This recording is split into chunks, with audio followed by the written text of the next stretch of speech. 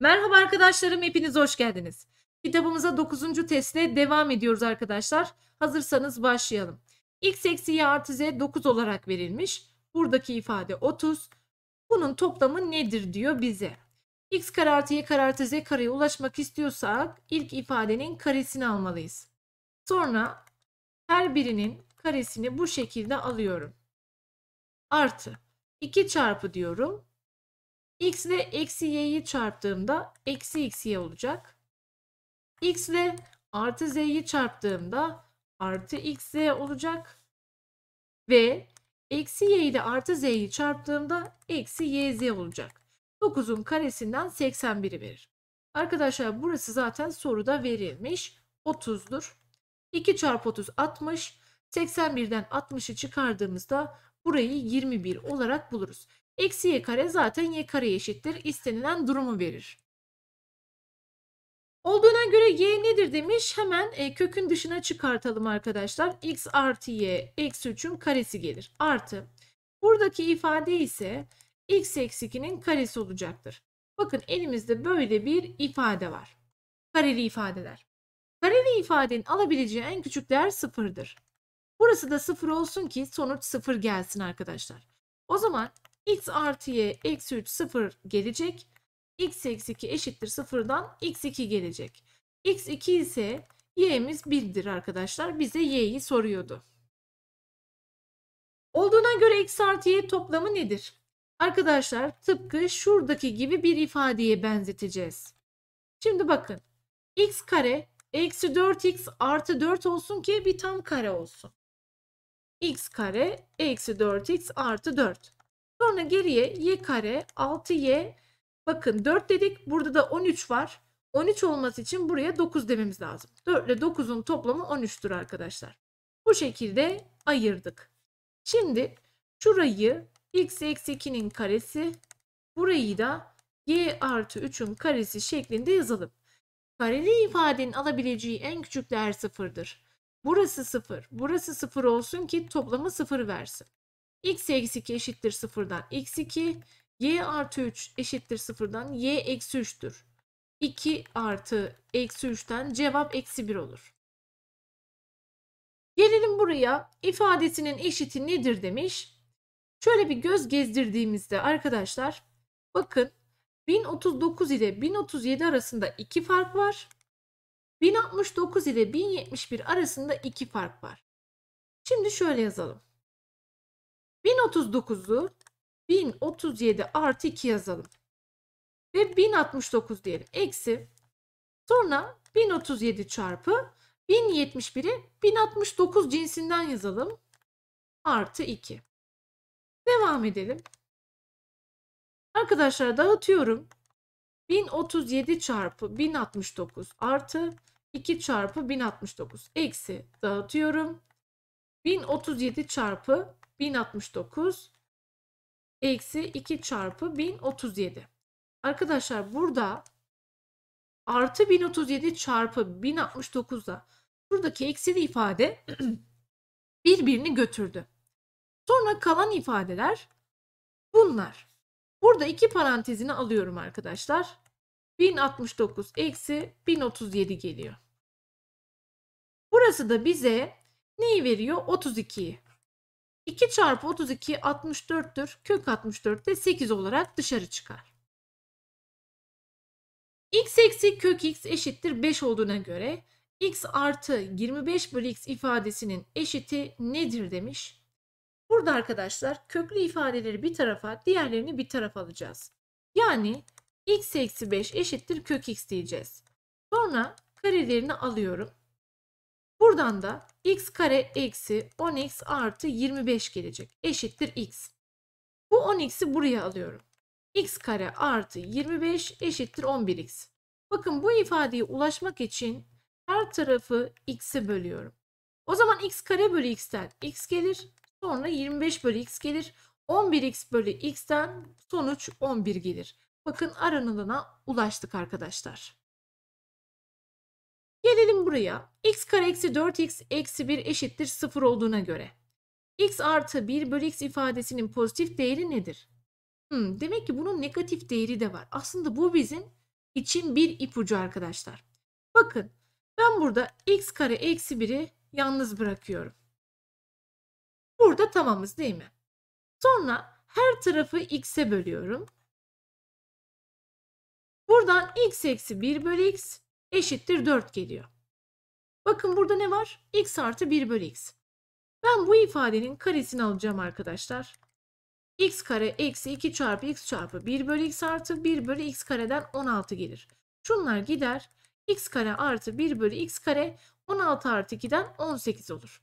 Bakın burada böyle bir ifade yakaladık. Bunu b'ye eşitleyelim. b karesini alalım. Buradan da x kare artı 2 çarpı x çarpı 1 bölü x artı 1 bölü x kare eşittir b kare gelir. Burada arkadaşlar şu ifadeyle şu ifadenin toplamının 18 olduğunu biliyorum. 18. x'ler gider 2 de burada. b kare 20 eşittir. Kare kökünü aldığımızda b 2 kök 5 ya da eksi 2 kök 5 gelir. Bize pozitif değerini sorduğuna göre cevap 2 kök 5'tir. Aslında bu tür sorular hep aynı mantıkla çözülüyor gençler. Gelelim buraya. A kare eksi AB eşittir 11. B kare eksi AB 14 olduğuna göre A eksi B'nin pozitif değeri nedir? Gençler bu ifadeleri topladığımızda A kare eksi 2AB artı B kare eşittir 25 gelir. Burası da zaten A eksi B'nin karesidir. Kare kökünü aldığımızda A eksi B buradan 5 ve eksi 5 gelir. Pozitif değerini sorduğu için cevap 5 olur. 2 üzeri 22 eksi 2 üzeri a artı 2 üzeri 18 ifadesi bir tam kare ifade olduğuna göre a aşağıdakilerden hangisi olabilir demiş. O zaman arkadaşlar burası 2 üzeri 11'in karesi şeklinde yazılmalı. Burası da 2 üzeri 9'un karesi şeklinde yazılmalı. Burası bir tam kare ifade ediliyor, ediyorsa 2 üzeri 11 eksi 2 üzeri 9'un karesini vermeli. O zaman bu açılıma göre ortadaki terim şöyle olmalı. 2 çarpı 2 üzeri 11 çarpı 2 üzeri 9 olmalı değil mi arkadaşlar?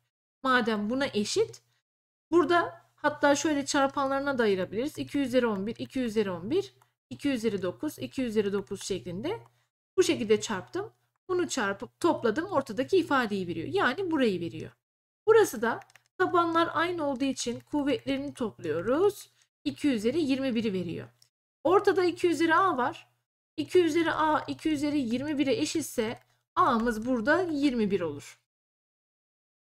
9'a bakıyoruz. 2 üzeri 2 artı 1. 2 üzeri 2 üzeri 2 artı 1 şeklinde çarpım ifadesinin sonucu 2 üzeri a eksi 1 bölü 3 gelmiş. a nedir diyor. Aslında arkadaşlar bu tür soruların çözümü hep aynı mantıktır.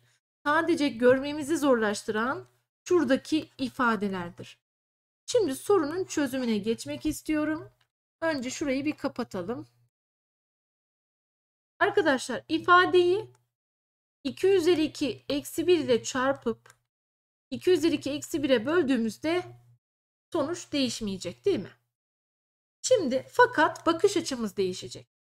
Burayla burayı çarptığımızda olay şöyle olacak. Birincinin karesi eksi ikincinin karesi. Buradan 2 ile 2'yi çarptığımda bana neyi veriyor arkadaşlar?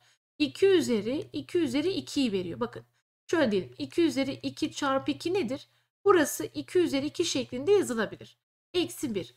Bakın bu ikisini çarptığımda 2 üzeri 2 üzeri 2 eksi 1 gelmiş oldu. Devam ediyorum. Sonra bu ifadeyle bu ifadeyi çarptığımda 2 kare farkı gelecek. Bakın arkadaşlar birincinin karesi eksi ikincinin karesi gelecek. Burada da şuraya dikkat edin arkadaşlar.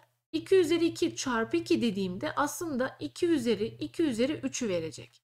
Şunun aynısını verecek. Yanında eksi 1 var. O zaman şöyle diyelim arkadaşlarım. Bu ikisinin çarpımı 2 üzeri 2 üzeri 3 eksi 1'i verdi. Sonra bu ikisinin çarpımı 2 üzeri 2 üzeri 4 eksi 1'i verecek. Bu şekilde gidecek. Şuna dikkat etmenizi istiyorum. Burada 2 üzeri 2 üzeri 2 eksi 1 ile 2 üzeri 2 üzeri 2 artı 1'i çarpınca bir fazlası geldi. 2 üzeri 2 üzeri 3 geldi. O zaman en son buraya geldiğimizde 2 üzeri 2 üzeri 20 eksi 1 ifadesiyle çarpıldığında buradaki sonuç şöyle olacak. 2 üzeri 2 üzeri 21 eksi 1 gelecek arkadaşlar.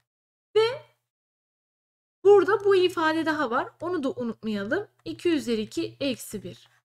2 üzeri a eksi 1 3. Arkadaşlar zaten burada 2 üzeri 2 eksi 1 3'tür. Bunlar sadeleşir. Geri kalan ifade 2 üzeri 2 üzeri 21 eksi 1 2 üzeri a eksi 1 gelir. Bunlar da gider. 2 üzeri 2 üzeri 21 eşittir 2 üzeri a'dan tabanlar eşit olduğu için kuvvetler de eşit olur. A burada 2 üzeri 21'e eşit olur. Anlatırken zorlandım ama mantığının anlaşıldığını düşünüyorum arkadaşlar.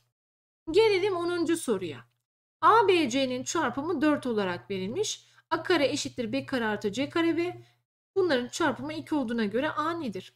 Şimdi arkadaşlar buradaki ifadeyi şöyle yazalım. A eksi B eksi C şeklinde. Burada da bakın B eksi C var zaten. O zaman artı B eksi C yazalım. Hatta bunu şöyle parantez kullanalım ki. Bakın birinci ifade ikinci ifade. Birinci ifade ikinci ifade.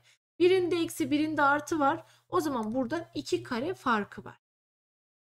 Diyorum ki birincinin karesi eksi ikincinin karesi eşittir 2. Burada a kare yerine bu ifadeyi yazabiliriz. b kare artı c kare eksi b eksi c'nin karesini açalım. b kare eksi 2bc artı c kare eşittir 2. Arkadaşlar artı b kare ile eksi b kare birbirini götürdü. c kare ile eksi c kare birbirini götürdü. Eksi ile eksinin çarpımından artı gelir. 2bc 2'den bc 1 olur. Bize a'yı soruyor. bc yerine 1 yazdığımızda a'yı 4 bulmuş oluruz. Gelelim buraya ifadesinin eşiti nedir demiş. Şimdi gençler 4 bölü 25 ifadesi 2 bölü 5'in karesidir. Eksi 25 bölü 49 ifadesi 5 bölü 7'nin karesidir. Burada e, bir tam kare ifade varsa şöyle olmalıdır. 2 çarpı 2 bölü 5 çarpı 5 bölü 7 şeklinde. Bakın bunlar sadeleşince ortası 4 bölü 7 geldi. Bunu karekök içine alıyorum. Ve ifademi şöyle yazıyorum. 2 bölü 5 eksi 5 bölü 7'nin karesinin karekökü. Sonra bu ifade mutlak içinde 2 bölü 5 eksi 5 bölü 7 gelecek. Faydalarını eşitliyorum. 14 eksi 25 bölü 35 eksi 11 bölü 35 buradan da 11 bölü 35 gelir gençler. Geldik son soruya. ABCD karesinin bir kenarı A birim olsun. İşte buradan bahsediyor. Bu karenin köşesinden kenarı 2B birim olan EGBF karesi atılırsa yani şu kare atılırsa geriye kalan alanı veren özdeşik nedir? Arkadaşlar büyük karenin alanından küçük karenin alanını çıkartıyorum. İşte bu. Bu ifade A eksi 2B A artı 2B'yi eşittir. Cevabımız E'dir. Evet arkadaşlarım 9. testi bitirdik. Beğendiyseniz beğenmeyi unutmayınız. O güzel yorumlarınızı eksik etmeyiniz. 10. testte görüşmek üzere hoşçakalın.